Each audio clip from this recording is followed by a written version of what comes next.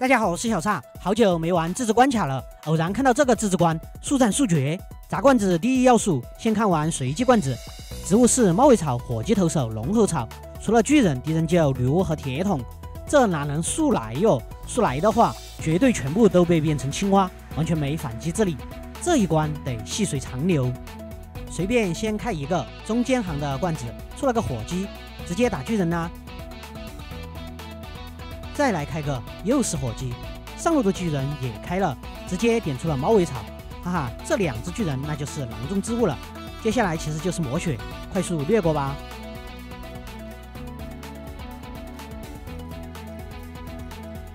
干掉两个巨人后，中路可以开了，铁桶就很轻松。